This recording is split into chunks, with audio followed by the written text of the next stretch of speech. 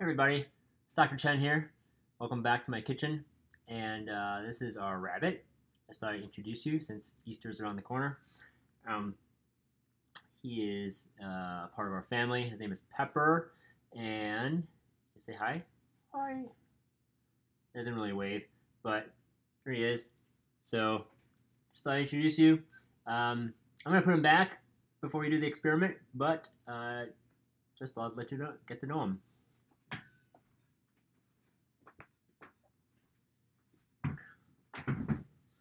All right, so for today, so yes, so the other day we looked at a couple of, um, you know, what happens when we have the pepper on the water and when we put sanitizer and soap in it. And and some people asked about, well, what's what's up with water? You know, like what's what's going on with water? Uh, maybe that has something to do with with this whole thing, the properties of different substances. So I am going to, let me just lower this here. I For this experiment, you're going to need two dishes, one with water, so I have some water in here.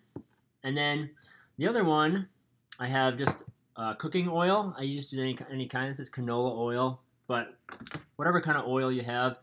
Um, you don't need a whole lot of it. Hopefully, uh, you don't need, um, you know, like it shouldn't be too much, so you, hopefully you can find some in the kitchen. Uh, you need a, a couple of sewing needles. So if you have one, that's fine. You just do it for both of them. But it's just like a needle that you sew with. Uh, so I have two sewing needles here. And then, and you need a couple of tiny pieces of paper. Um, I think newspaper works really well. So I just cut little slips of newspaper that's that's a little smaller than the needle.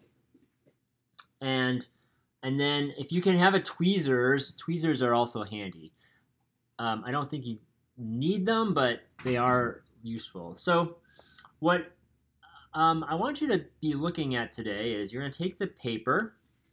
Just going to kind of see what what ha what happens when we take this needle and we put it on different substances. What do we observe, and what questions do we have um, in thinking about these two things. So I'm going to put the newspaper on here. So the newspaper is on, going to be floating on the water. I'm going to take the needle.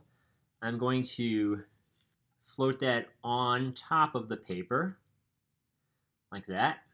Okay, so you can see that. And then I'm going to take the tweezers and I'm going to carefully remove the paper. So let me try to do this.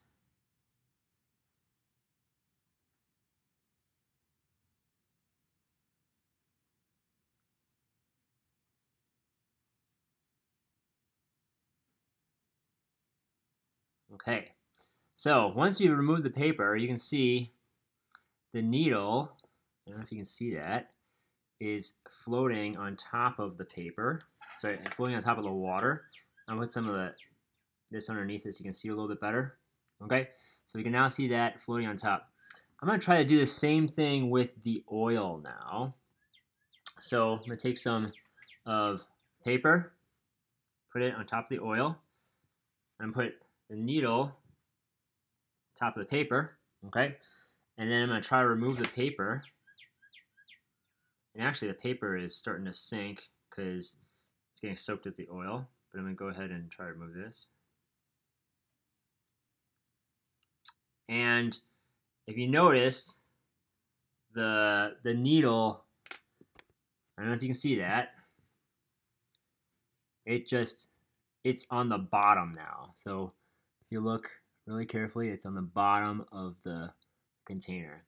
And you can try this. I tried this a bunch of times. Um, I could not get the needle to stay on top of the oil. You can try it too. But um, yeah, so just want you to write down your observations what do you see happening here? Why might you think this is going on? And then on uh, Google Classroom, there's a going to be a, a document that's got some information about water and oil. And yeah, just kind of look through that and see what kinds of information can you can you figure out, can you pick up from the internet, um, and then we'll come back here for the next activity. All right.